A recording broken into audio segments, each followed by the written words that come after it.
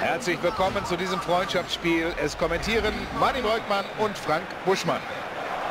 Und heute heißt es also Borussia Dortmund gegen den FC Getafe. Frank, deine Kurzanalyse zu Borussia Dortmund. Heute beginnt die Saisonvorbereitung und dieses Team hat nur ein einziges Ziel und das heißt Meister. Das größte Fußballstadion Deutschlands ist das ehemalige Westfalenstadion in Dortmund, das 2005 in Signal Iduna Park umbenannt wurde. Seit 1974 die Heimat der Borussia und schon mehrfach Austragungsort internationaler Turniere sowie bei der WM 2006.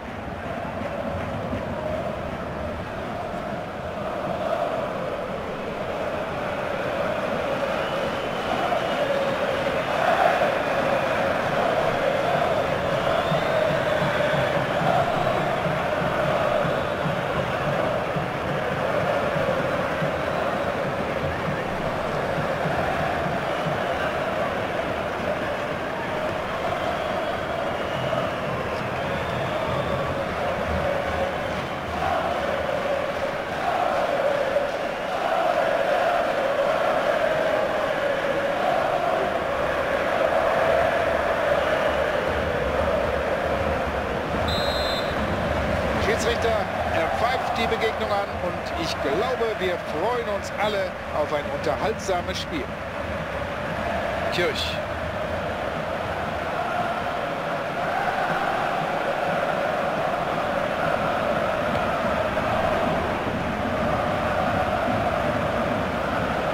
Kann er sich den Ball holen? Der Ball ist frei.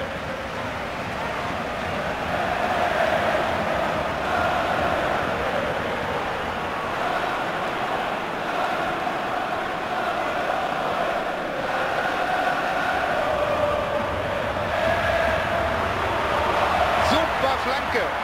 Und kann er diese Hereingabe verwerten?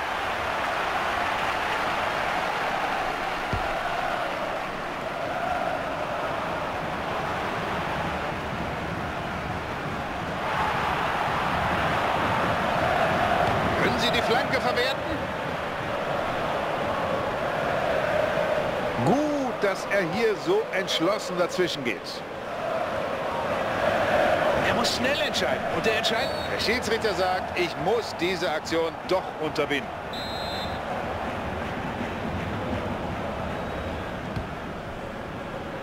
Flanken schlagen ist eine Kunst. Manchmal geht es auch daneben, wie in diesem Fall. Der Schiedsrichter sagt sofort, das geht in Ordnung. Marco Reus. Und Hingeschaut.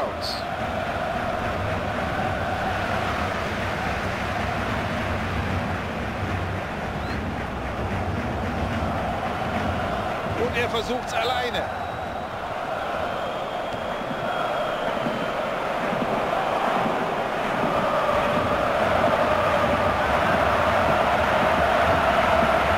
Sehr gute Flanke. Und der ist drin.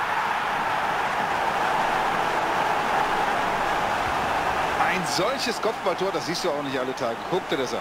Unfassbare Technik. Klasse. So, jetzt können wir uns den Treffer nochmal betrachten. Diesmal mit einer anderen Kamera aufgenommen. Klasse erwischt diesen Kopfball. Druck hinter die Kugel gebracht, aber glänzend pariert.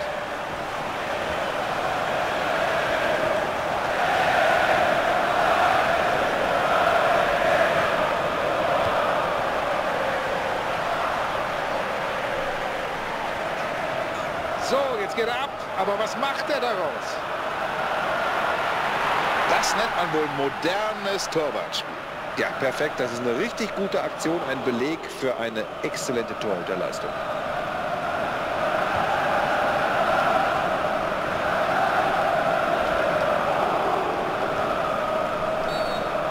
Immer gut, wenn der Schiedsrichter gleich am Anfang ein Zeichen setzt. Er muss Freistoß pfeifen. Aus dieser Flanke ist nichts geworden. Der Ball wieder beim Gegner. Das wird ganz gefährlich. Achtung! Den konnte er einfach nicht kriegen, diesen Ball. Niemals. Also die Flanke ging in Richtung äh, Karim Abdul-Jabbar. Das war mal ein amerikanischer Basketballer, der war 2,20 groß.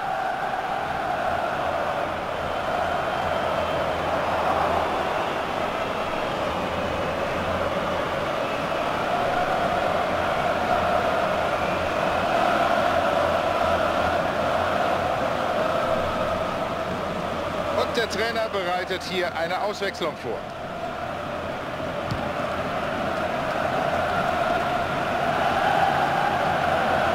Marco Reus. Das könnte gefährlich werden, denn der schießt immer sofort und platziert. Diese Flanke ist überhaupt kein Problem für die Abwehr. Und, und jetzt!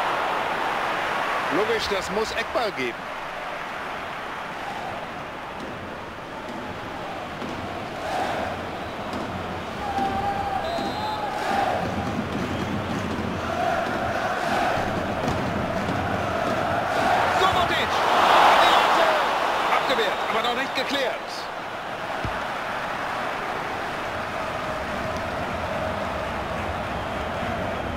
Eine Rangelei um den Ball.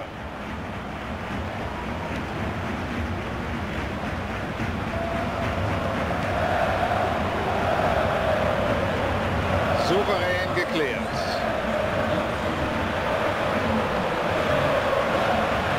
Schönes Stellungsspiel. So kann er den Ball mit Leichtigkeit abfangen. Und das war kein Schuss, das war ein Bums, aber souverän gehalten. Wer will ihn? Den Ball. Da liegt er doch.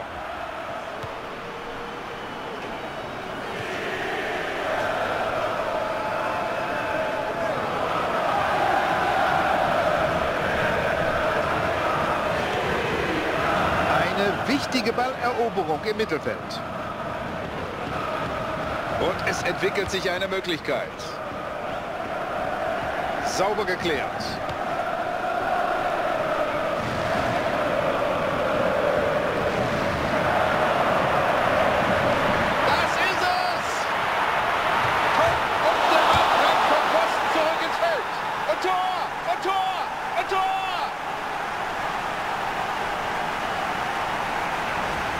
Und jetzt warten wir mal ab, ob er vielleicht heute noch ein drittes Mal erfolgreich ist. Nochmal das Tor aus anderer Kameraperspektive.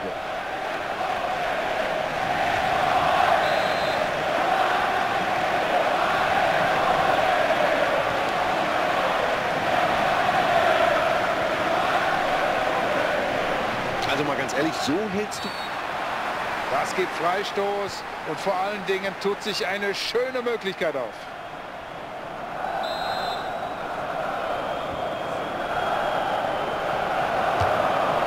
Den hat er souverän gehalten. Ja, aber das war auch eine der etwas einfacheren Aufgaben. Nicht schlecht getreten der Freistoß, aber augenscheinlich nicht gut genug, um den vorzüglichen Mann zwischen den Pfosten zu überwinden. Und wieder können sie sich hier auf ihren Keeper verlassen bei dieser Möglichkeit. Eine leichte Beute, so macht die Balleroberung Spaß.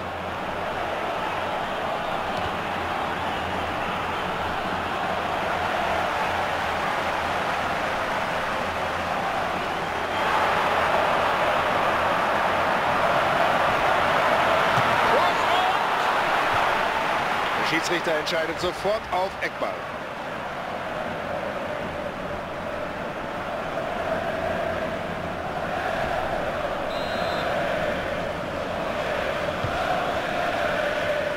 für eine merkwürdige Ecke. Da ist nun wirklich nichts draus geworden. Jetzt schießt er und das Bällchen ist noch heiß.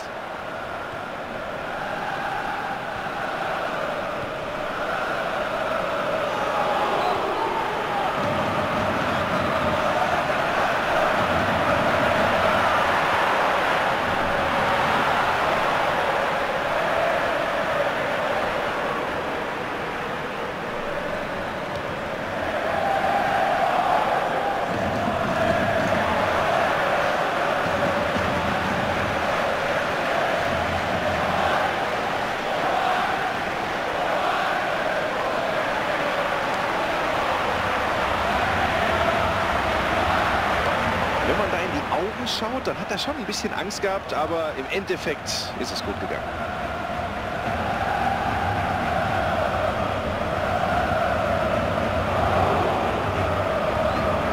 Ein super Timing, er geht dazwischen und nimmt dem Gegner den Wind aus den Segeln. Möglichkeit jetzt. Gefährliche Flanke. War schon immer ein trügerisches Ergebnis, aber es sieht komfortabel aus. Halbzeitstand 2 zu 0.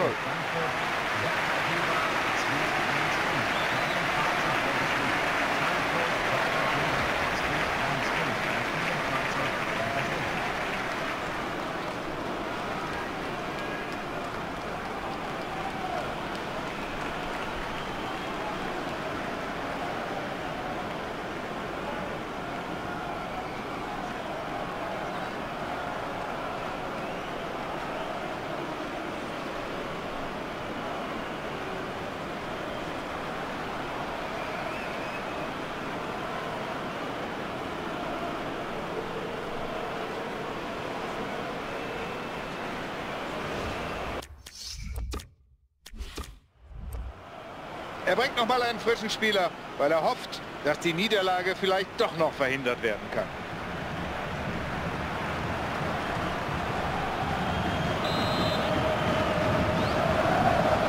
Anstoß zu Beginn der zweiten Hälfte.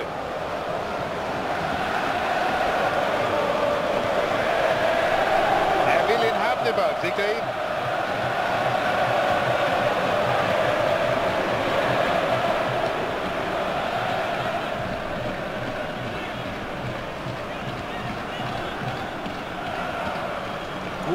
Abwehrverhalten, aber in Ballbesitz kommen sie nicht.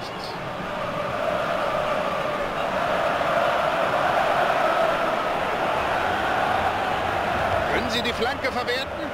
Die Abwehr schnappt sich die Flanke.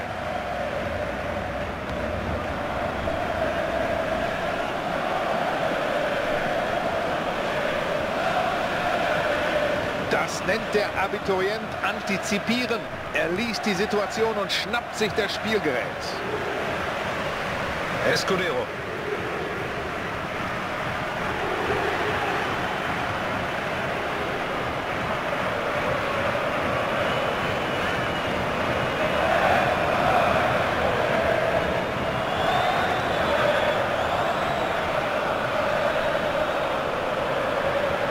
Und er bekommt Hilfe.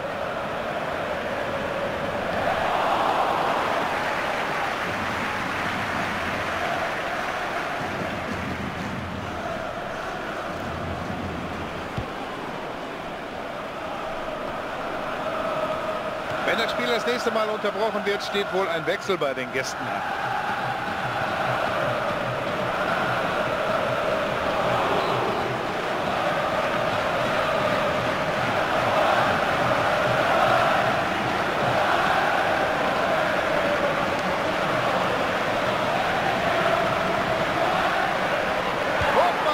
Er hat ihn abgewehrt, aber nicht festgehalten.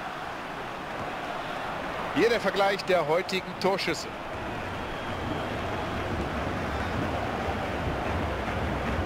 Gut mitgespielt. Er geht im entscheidenden Moment dazwischen.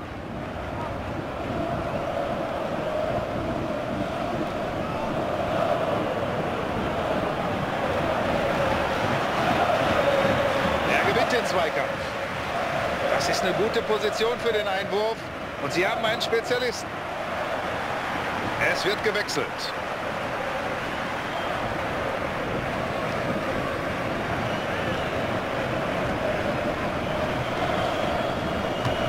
Und der Ball prallt vor ihm ab und landet ihm aus.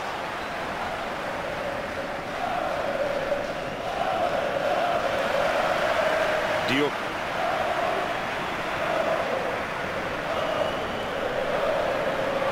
Und jetzt ist er durch. Jetzt zieht er ab. Vom Torwart abgefälscht. Der Ball, er ist im Gehäuse. Der hat gepasst. Der Mann ist ja kaum zu ersetzen. Und mit Recht gilt er als der Mann dieser Mannschaft. So, jetzt können wir uns den Treffer nochmal betrachten. Diesmal mit einer anderen Kamera aufgenommen. Ist das schon die Entscheidung? Klare, deutliche Führung.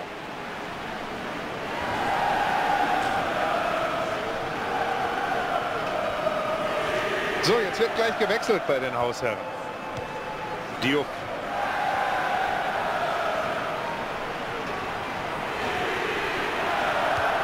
Das haben wir durchaus schon souveräner gesehen, aber der Ball ist weg.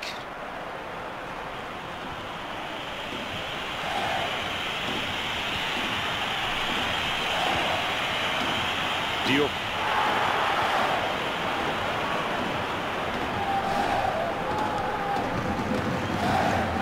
Ein verbissener Zweikämpfer, der Erfolg hat. Er hat den Ball.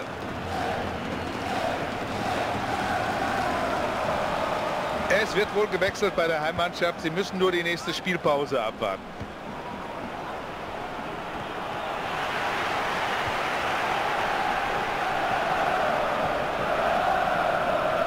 Jetzt greift er ihn an.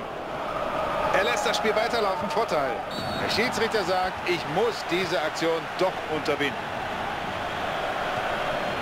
Oh, die Abwehr ein bisschen überrascht.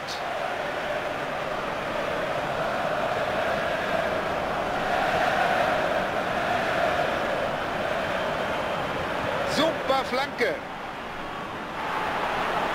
Schuss und... Ja, das war ja auch genau auf den Torwart gezielt.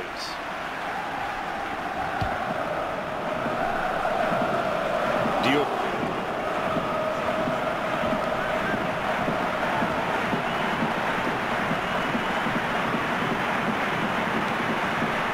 Abgewehrt, aber noch nicht geklärt. Marco Reus!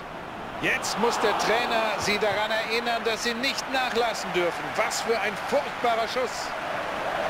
Jetzt wechselt der Trainer einen frischen Spieler ein. Er versucht, die Führung über die Zeit zu bringen.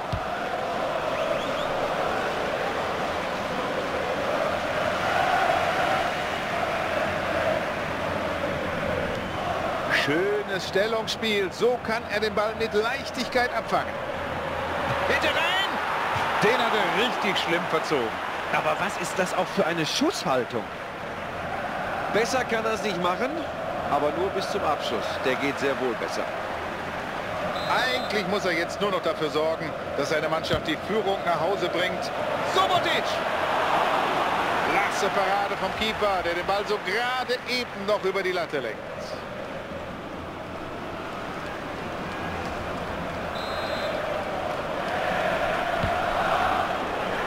Ja! Aber Achtung, Kopfball. Und er ist drin!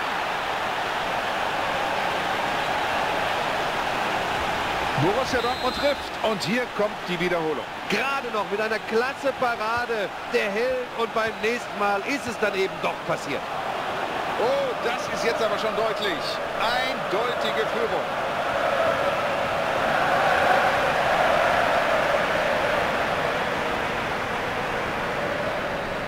Escudero.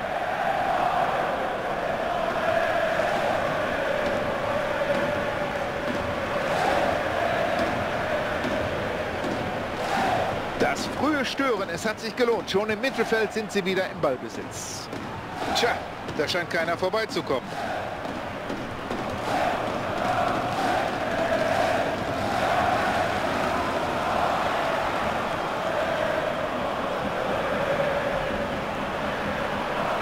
Ein, jetzt wird es brenzlig. Er hat den Ball sofort verarbeitet.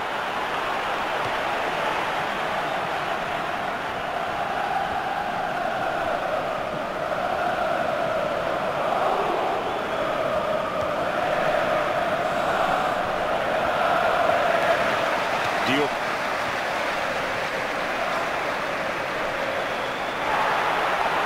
Können Sie die Flanke verwerten? Diop. Und Tor! Und Tor! Und Tor! So langsam muss es bei Ihnen aber Klick machen, dass das ein ganz gefährlicher Spieler ist. Der hat ja schon zweimal getroffen. Okay, dieses Tor gucken wir uns gerne noch mal aus einer anderen Perspektive an. Und noch einer oben drauf und gar nicht schlecht und damit noch deutlichere Führung. Jetzt kommt keine Verbesserung des Resultates mehr, auch keine Verschlechterung, denn das Spiel ist vorbei. Was für ein einseitiges Spiel, was für ein einseitiges Ergebnis, wie peinlich für die Verlierermannschaft. Also das ist mit das äh, dominanteste, was ich in dieser Spielzeit gesehen habe. So, liebe Zuschauer, das war's für heute. Martin Beugmann sagt auf Wiedersehen. Tschüss, bis die Tage.